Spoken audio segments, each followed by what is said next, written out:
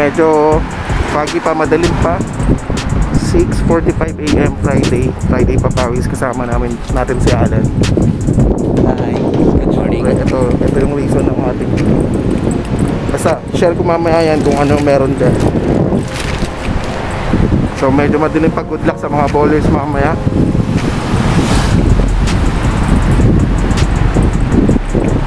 Nyo mamaya sino mabibiktima nung ano ko, Euro. Yan. Yan. Anong half stand ko. Yan. See you.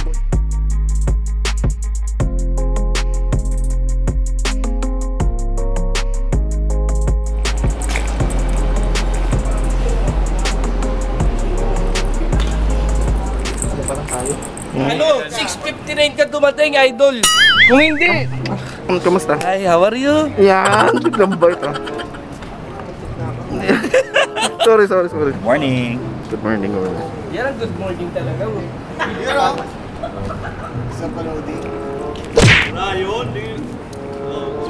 oh. So yun, good morning mga idol. Shout out Idol Chance E, Idol ko. Kaya Siyempre, idol ko si Pinatok. Yeah. Jersey! Ba't, ba't parang, ba't parang tagaytay? I would like to thank the sponsor, Pilotalk, and Alguer, and uh, Clouds. Thank you so much. Basta ako yung plastic ni Pinatok.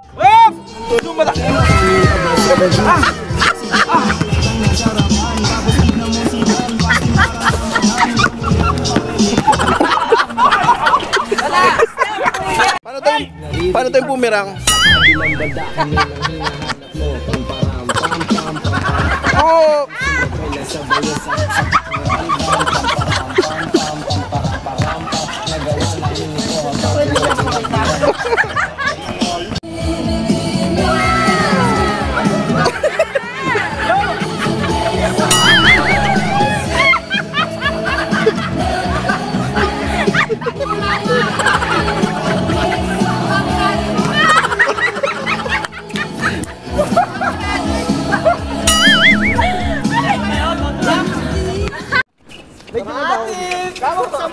Bayaan mo sila, magbibigyan niya mo. Kala ka matik ka naman eh.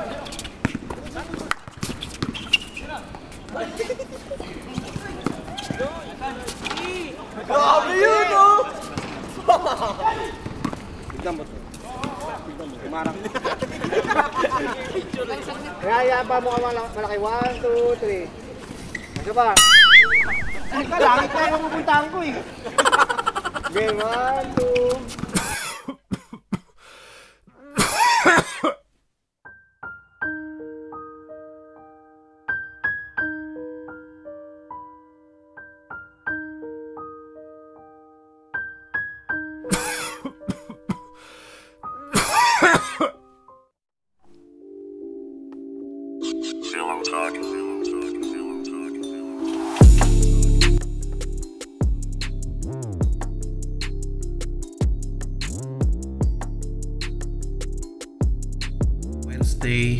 March 3, 9.37 ng umaga dito sa Dubai.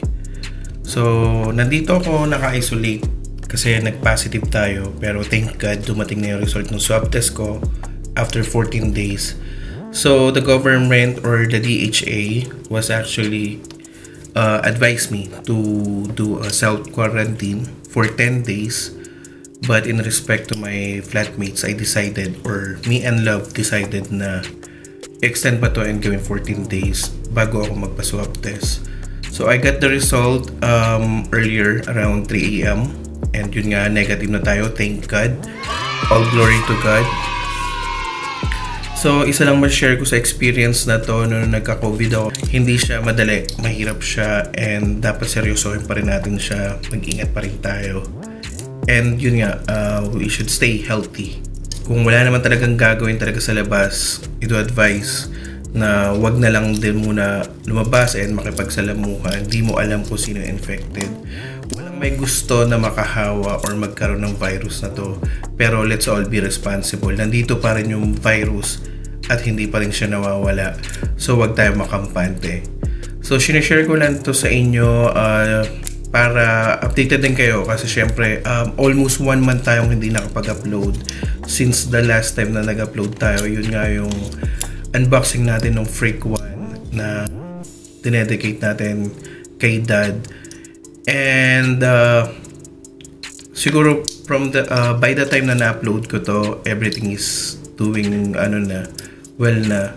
And even si Love kasi siya nasa isolation facility as of now so matatapos yung yung quarantine niya sa sa 10 gusto ko lang magpasalamat sa lahat ng nag-PM, lahat ng ng ah, yung mga time na yun na time na alam mo yun, ah, nandun ako at nagka-COVID at nararamdaman yung hirap is ah, madaming nag-PM and yun nga talaga nagpano ng suporta sa akin. So hindi lang talaga sa vlog kahit mismo sa personal na buhay na yung nag ng concern and prayers. Sobrang thank you. And hopefully this time makatuloy-tuloy na tayo and yun nga makausad na tayo makapag-upload na ulit tayo sa channel. So, uh, sorry for uh, being not healthy. And tulad nga ng sinabi ko, wala namang gusto na infect tayo ng virus eh. Kung may friends ka or kilala na nagka-COVID, please support them and show your ano talaga, yung full support na hindi by words lang. Uh, make them feel na mahalaga sila.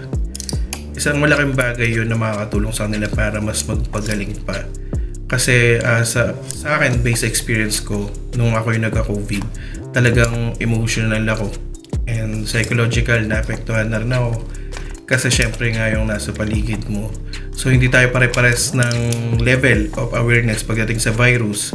And I do suggest na mag-seek tayo ng knowledge about it instead na matakot.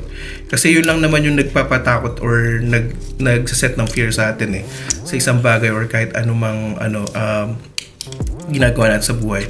Pag kulang yung uh, information na alam mo or yung knowledge mo or let's say unaware ka sa isang bagay, nagbe-build up yung fear. So I do suggest na mag-research din tayo.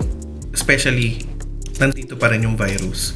So, sa mga taong uh, makakasalamuha nyo na meron virus, tama lang na mag-ingat kayo for your safety. Pero, um, don't make them feel na parang kasalanan nila sa mundo yun.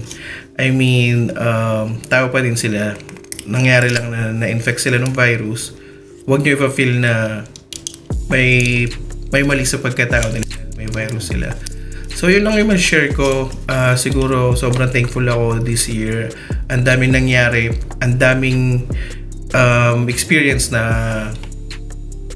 talaga naman kinapulutan ko ng aral. Umpisa pa na ng taon. And I'm thank God na yun nga, nalagpasan lahat. And tulad nga na sabi ko, yung experience na to is something na may share ko yung lesson sa mga iba pa.